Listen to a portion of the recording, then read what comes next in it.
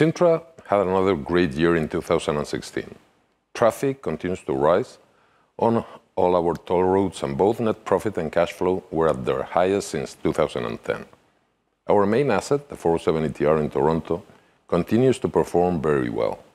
After a toll increase of close to 9%, traffic rose by nearly 5%, making it possible to distribute a record dividend of 790 million Canadian dollars.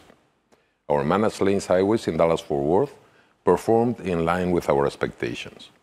Traffic increased at a rapid rate, and revenues from both highways are in line with initial expectations. Managed lanes have received very high user satisfaction ratings, suggesting that they have a bright future as an optimal solution to traffic congestion problems in metropolitan areas. Operating managed lanes is also enabling Cintra to identify competitive advantages, which are vital for bidding successfully for projects of this type. 2016 was also a fruitful year in terms of business growth. We landed a new managed lanes project in the U.S., the I-66 in Virginia, a 50-year concession representing an investment of over $3 billion that is very complex in technical terms, but also very valuable.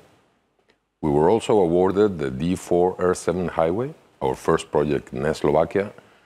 This is a 30-year concession with an investment of close to 1 billion euro, remunerated with availability payments.